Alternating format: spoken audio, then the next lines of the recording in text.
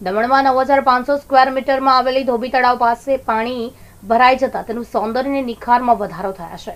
દમણ શહેરમાં ward number ચૌદમાં આવેલા આ તળાવને પ્રશાસન દ્વારા નવીનીકરણ કરવામાં આવ્યું છે અને તળાવની ફરતે જોગિંગ ટ્રેક, ફાઉન્ટેન, શૌચાલય સહિતની સુવિધાઓ સાથે લાઇટિંગ કરવામાં આવી છે. હાલમાં ચોમાસાના કારણે એકતા લેક ગાર્ડનની સૌંદર્યતામાં વધારો થતા રોનક વધવા પામી છે. કામમાં તો એવું છે કે અત્યારે આ વાપી એમડી જે એક એચએસજી વન ઓફિસ છે. અને હું એક પોસ્ટલ આસિસ્ટન્ટ છું. નથી, હું એલએસજી એ વન કે ટુ છું નથી, હું એચએસજી વન છું. તે છતાં બી અત્યારે જે ફેબ્રુઆરીમાં એક પોસ્ટ માસ્ટર રિટાયર થયા, એ પછી હેન્ડલ કરીને અત્યારે હું ચાર્જ લેતો અને ચલાવું છું. હવે એ પછીથી જે ભાઈને ચાર્જ આપેલો હતો એસપીએમમાં એ એકચ્યુઅલી અત્યારે એસપીએમ સેલવાસામાં મૂકેલા છે એમને.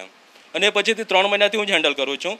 હવે ત્રણ મહિનામાં એ મે મહિનામાં આખો મહિનો એસપીએમ અને એસબી કાઉન્ટર જોડે ચલાવ્યા છે.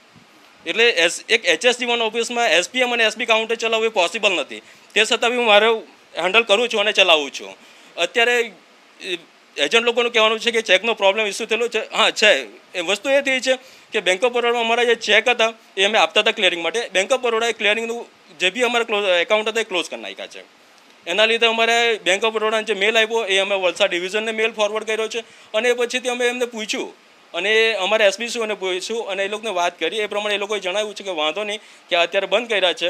એટલે તમે અહીંયા અમને મોકલી આપો. પણ વસ્તુ એ હતી કે અત્યારે મારે બેંક ઓફ બરોડામાં જેટલા બી ચેક્સ હતા એ બધા પહેલાં મારે અહીંયા ક્લિયર કરવાના પછી મોકલાવું. કેમ કે બંને એક સાથે ભેગા થાય તો મારા અહીંયાના ચેક રહી જાય અને ત્યાંના ક્લિયરિંગ ચાલુ થાય એ વસ્તુ હતું એટલે અત્યારે બેંક ઓફ બરોડાનું ટોટલી ક્લિયરિંગ પતી ગયું છે અને મેં અહીંયાથી ગઈકાલ પરમ દિવસે મોકલી આપ્યા છે અને બીજા જે છે તે આજે મોકલી આપીશ આ બહેનોનું કેવું છે કે કામ નથી થતા એની સાથે સાથે અમને એજન્ટ તરીકે અંદર નથી આવવા દેતા અંદરનું પણ કામ નથી કરવા દેતા? અંદર એટલે વસ્તુ એક છે કે પોસ્ટ ઓફિસની અંદર એજન્ટ લોકોએ કોઈ આવવાનું નથી. તે છતાં બી એ લોકો બહારની સાઈડે કાઉન્ટર ફોઇલમાં બેસે જ છે એ લોકો. એ લોકો દસ વાગ્યાથી એક વાગ્યા સુધી બેસી રહે છે કામ કરે છે અમે કશું બોલતા નથી. એ લોકોને.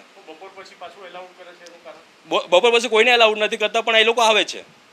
એ લોકોનું કદાચ પાસબુક લેવાની હોય કંઈક ચેક લેવાનો હોય તો આવે છે બાકી અમે કોઈને અલાઉડ કરતા નથી અને અંદર તો કોઈ આવતું જ નથી. જ્યાંથી બે કોરોના મહામારી ચાલુ થયેલું છે ત્યાંથી કોઈને અંદર આવવા દેતા જ નથી.